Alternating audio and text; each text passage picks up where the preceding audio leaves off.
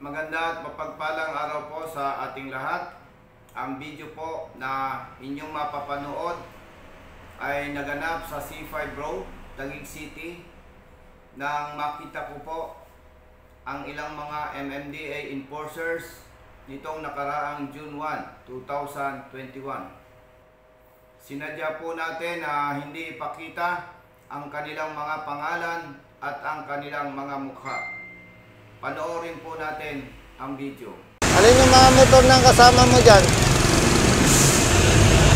Alin dyan? Yung mga nakaparada dyan? Opo, boss. Ito yung ano namin, Bison. Sige bro. Sige na. Ingat po, ingat. Alright, alright.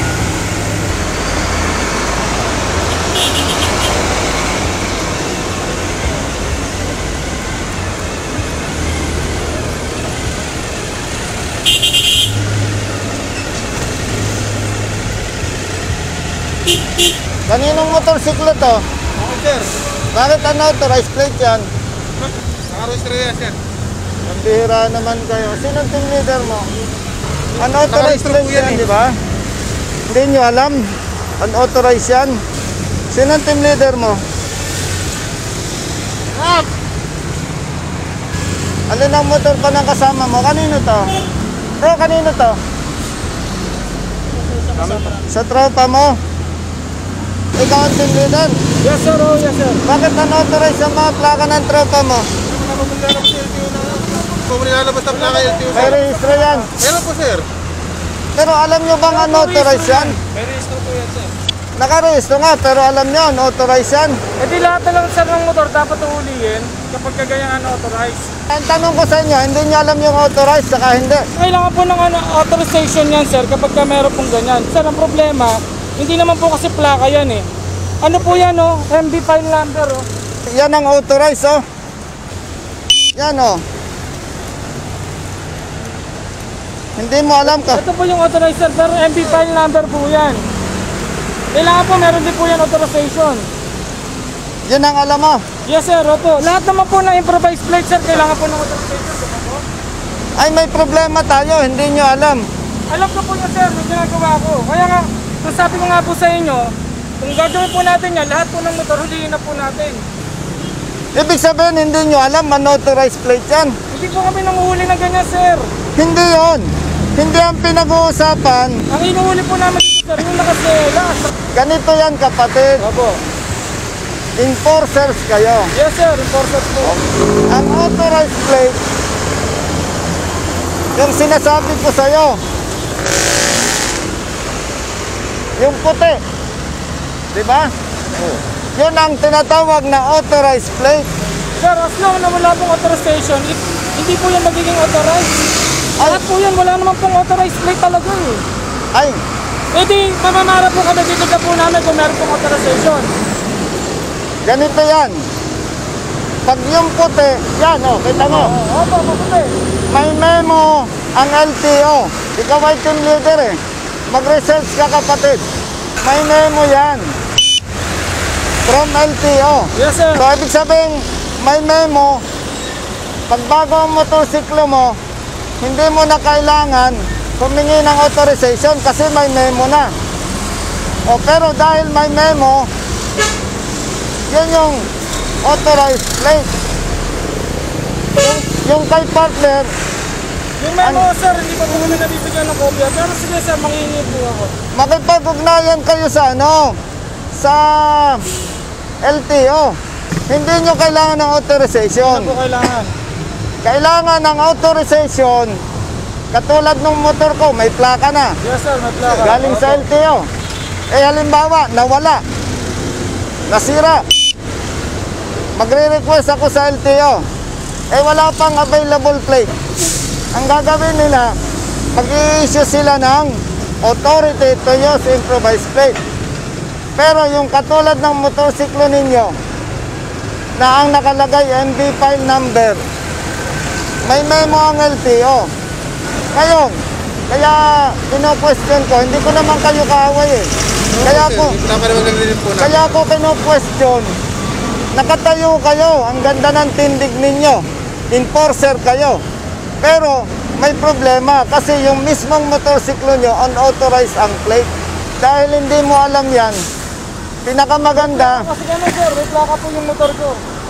Opo. hindi, yung mga tao mo. Alin ang plaka na? naka-register po yung sa. Yung sa'yo, Po lahat. Sa akin po may plaka po kasi yun. yung plaka mo, yung galing sa LTO. Yes sir. Pero ito, Improvise po nila yan.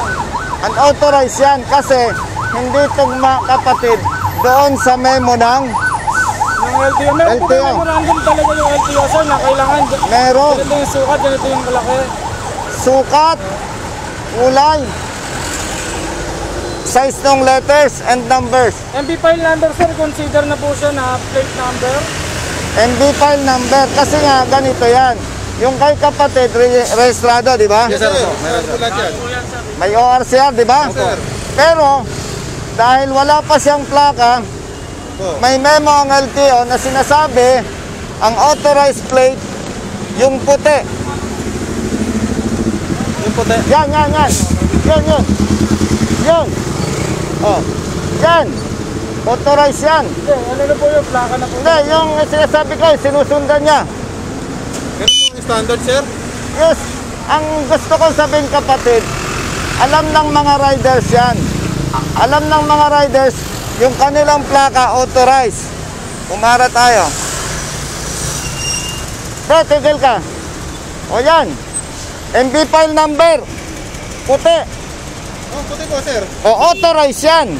Yan yung sumusunod sa memo ng LTO. Yung, oo, itong kay kapatid. Ito sir, yan. Oo, yan, yan. Authorized yan. Ito sir, ito. Hindi pwede yan. Ganyan. Yan, Dahil puti, dahil puti, then black. Pero pag tiningnan mo yung memo ng LTO, unauthorized din yan sa'yo. Yung mga ganyang sticker, Yan, dapat. Yung mo- bawal rin yung may mga sticker na ganyan. Bawal yan, kapatid. Ang prescribed talaga, yung katulad yung kay ano, yung sa rider na yan. Oo. Ngayon, ang concern ko dyan mga kapatid, hindi para makipag-away sa inyo. Nang uhuli kayo, dapat alam nyo yan. Oh. Yan ang authorized. Pag-usapan nyo yan, kapatid. Yes sir, gagawin po namin ng ano, Ngayon. Ngayon, dahil ang sinasabi ko sa'yo, hindi mo alam, pasyal ka sa LTO. Opo, para makuha rin namin yung memo, sir. I-verify namin sir kasi hindi po kami nanguuli ng ganyan kaya hindi po namin alam. Hindi Pero, hindi pwede kapatid idahilan na hindi kami nanguhuli. Ang punto dito, enforcer kayo, Opo, dapat alam. dapat kapatid, Yes, sir. nakakasunod kayo sa batas. Oh. Okay sige sir, wala pong problema. Ano yun po namin, ayusin po namin. Yan, iharap po namin, iharap po namin yan na ano pala yung information. Yung, I-check ninyo sa LTO, may memo yan. Para yung kulay, sir, no? puti. Tapos yung letters, yung kanina. Oo. Pero lahat yan, sir, pinahan namin, naka-register po lahat yan. Hindi, yung rehistro, oh, ah, hindi questionable yun. Kasi alam ko naman, hindi kayo magsisinungaling. Ang problema lang nga, Sa MB file. unauthorized plate. Kasi hindi nakasunod sa memo ng LTO. Sige, may lakad pa ako. Kapatid, ikaw naman ang team leader. Pakicheck mo. Ito, team leader dito. Maraming ano, fans. May bayad, may bayad. Dilim sir, dito sir, ang dilim. Sir, sir. Sir, pang profit lang. Ito, picture lang sir.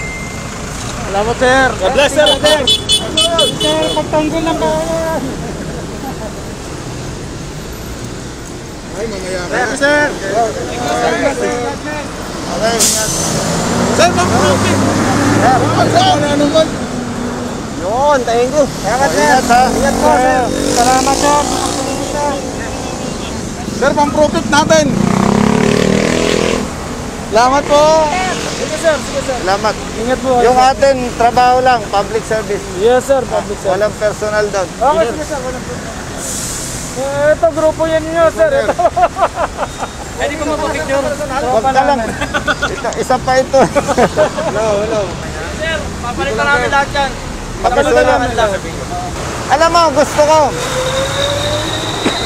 Kapatid, ang hindi ko gustong nangyayari, pagka ordinary rider huli, Yes, pag sir. may blinker, walang plaka, nakatsinelas, hindi ninyo pinapara.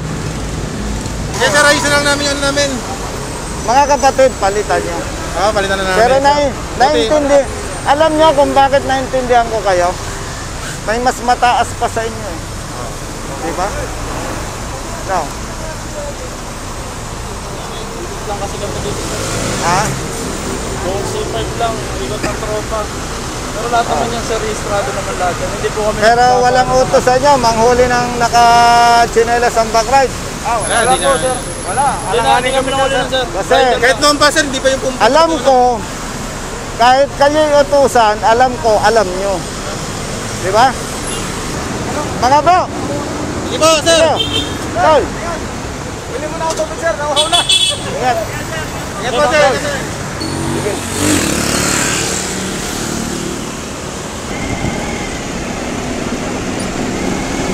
Bilang Pilipino po at bilang founder ng Rider Safety Advocates of the Philippines, RSAP, nais ko lamang po na tumulong para sa pagbabago sa abot ng aking makakaya.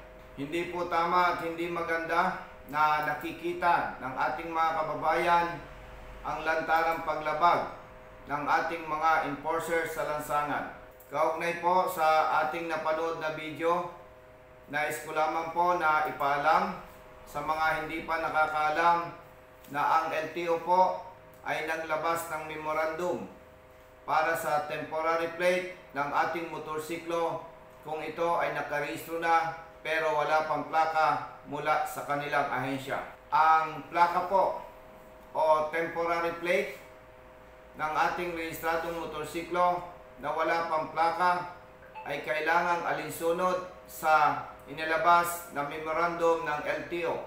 Ito po ay may tamang sukat, may tamang kulay, at letters and numbers ng ating temporary plate na ito naman ay makikita sa Certificate of Registration ng ating motorsiklo. Partikular, ito pong MB file number. Kung ang ating pong temporary plate ay hindi alinsunod sa nabanggit na memorandum ng LTO, tayo po ay may paglabag sa batas. Hindi po tama at hindi makatao na ang mga enforcers ay nanguhuli samantalang nakikita po ng publiko na sila ay hindi rin marunong sumunod sa batas na dapat nilang sundin at dapat nilang ipatupad. Hiniling po natin sa mga kinaukulan na mangyari po na alamin po ninyo ang batas at ipatupad po ninyo ito sa inyong mga enforcers sapagkat ang kanilang lantarang paglabag po ay hindi lamang nakakasira sa hanay ng mga enforcers. Ito po ay nakakasira din po sa ahensya na kanilang kinabibilangan. Maraming salamat po at mabuhay tayong lahat.